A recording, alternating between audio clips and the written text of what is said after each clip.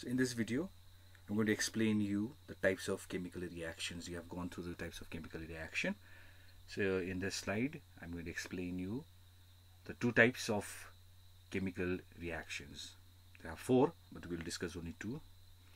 Combination reaction and displacement reaction. Now let's look at combination reaction. So what is the meaning of combination reaction? A reaction in which two or more substances, that is uh, elements or maybe compounds, combine together to form a new substance. This is known as a combination reaction. For example, A plus B. What does it give together AB? Still forget about this C.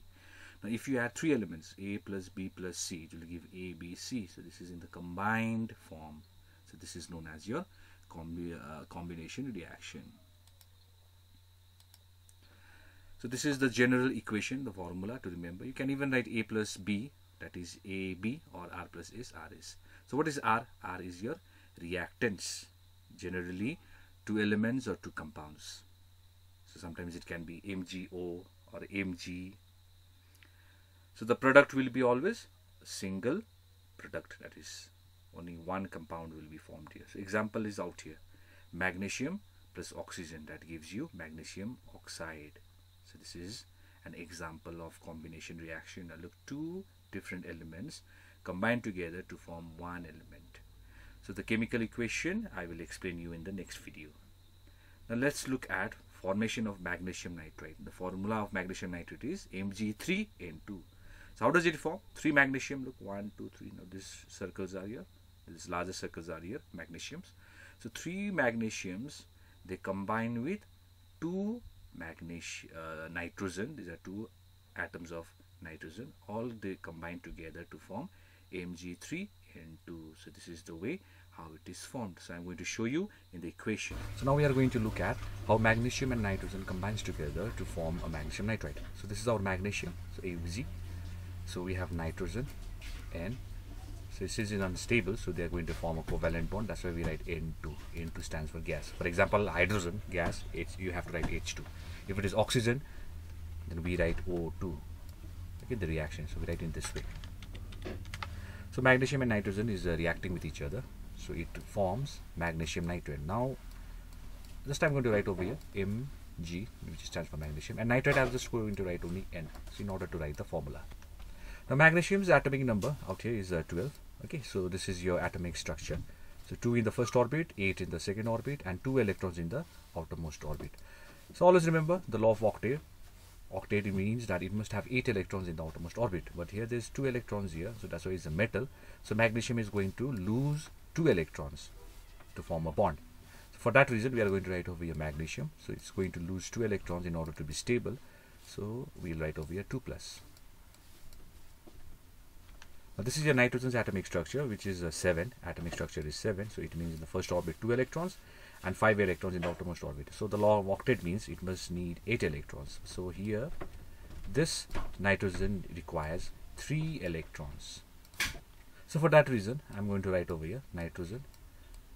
So it is less right? 3 electrons less. That's why we are going to write over here minus 3 so you can check my previous videos how to uh, write the chemical formulas. So you can take this 3 that is your radical here and don't write the charge just to write only 3 just below this uh, magnesium and this 2 right below this nitrogen.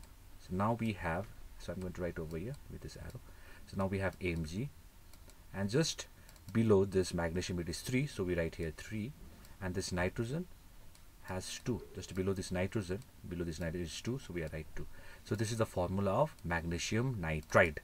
So how to balance it so if you look at the right hand side, so we have three magnesiums on the right hand side. You can check it out over here. So we have three magnesiums, but on the left hand side we have only one. So here we add just three. So here it will become three magnesium. And nitrogen, what do we have nitrogen here on the right hand side? We have two nitrogens, so two is already here. So this is how it is balanced. So how to write the balanced form? So overall reaction will look like this. So 3 magnesium plus nitrogen N2 will give Mg3N2. So this is the balanced form. So this is how combination reaction looks. So we here we have uh, two. So here we have three magnesium look, and uh, two nitrogen. They combine to give one compound. Look, so we have A. Let's assume this is uh, magnesium is A, and this nitrogen is B. So we have two different elements, and these together are combined to form AB. So this is our combination reaction. So we are going to look uh, more examples for this combination reaction. So examples of combination reaction. Now when you burn a paper, what happens? It burns only in, the presence of oxygen. So when carbon burns in presence of oxygen, it forms carbon dioxide. So look, this is the example for combination reaction. The two different elements they combine together to form one compound here. Like similarly, hydrogen plus oxygen gives water.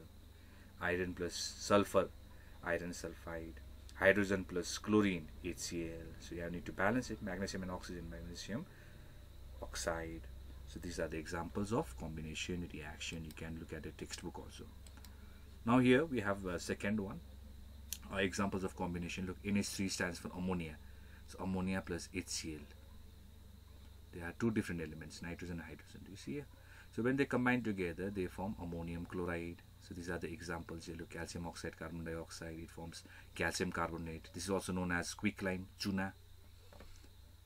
This is ammonia and sulfuric acid.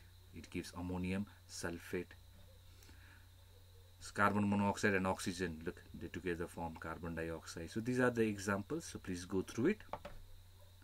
These are the examples of combination reaction.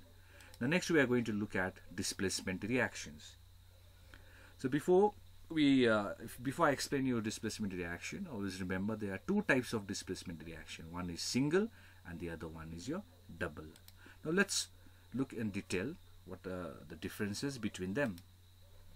So single displacement means it is a chemical change in which a more active element displaces a less active element. Now what is the meaning of this active element, less active element?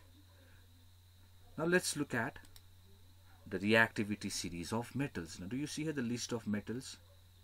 If you have already done in the previous classes, you'll understand it. If you forgot, no problem. Now let's look here. So potassium, sodium, calcium, magnesium, aluminium, zinc, iron, lead, H, hydrogen, this is a gas. That's why it is in the bracket here. Copper, uh, mercury, silver, gold, and below there is platinum also. Now this means if you compare sodium and this potassium now which one is more strong which one is more reactive potassium is more reactive because down the group there's an arrow here the reactivity decreases so if you compare potassium and silver which one is the most reactive obviously potassium because it is on the top now if you compare magnesium and aluminium which one is more strong magnesium is stronger than aluminium. If you compare iron and copper, which is strong, iron is strong. Now let's look at this uh, example of uh, single displacement. Now we have here zinc plus copper sulfate, isn't it? Zinc and copper sulfate. Now if you look at this reaction, is not a combination reaction. You cannot write Zn plus Cu, you cannot write it, isn't it? So let me uh, make it more easy. Okay.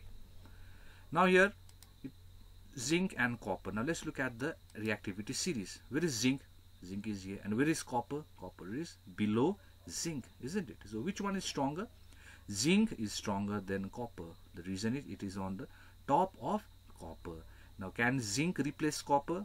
Yes, the strong elements can replace the weak ones. So the strong elements, that is the strong metal over here, will displace this copper.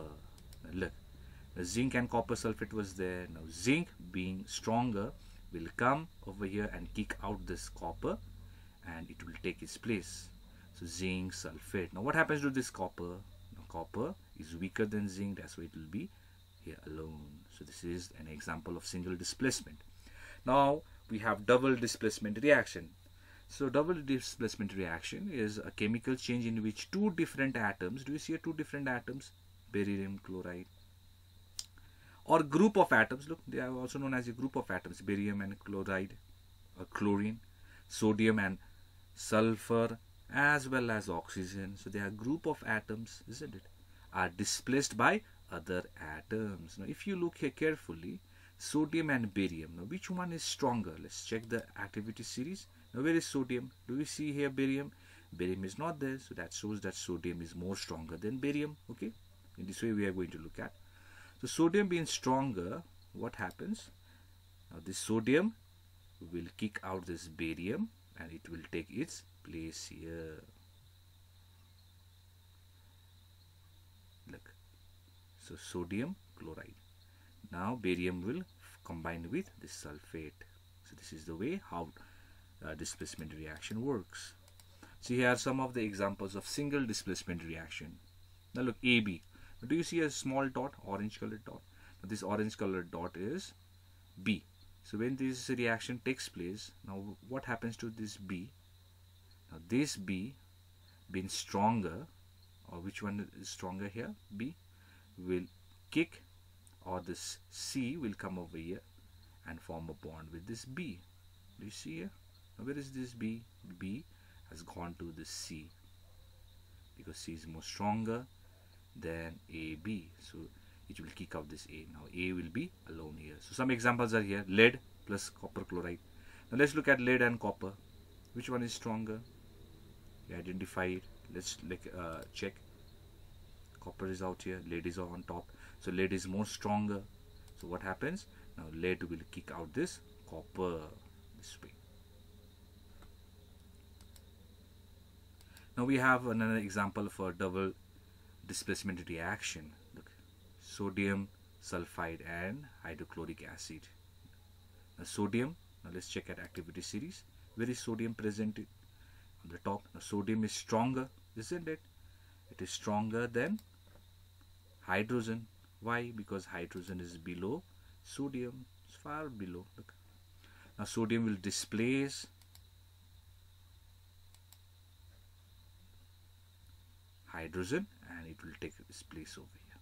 So this is the way how the reaction takes place. So this is the way how it is balanced. So please go through it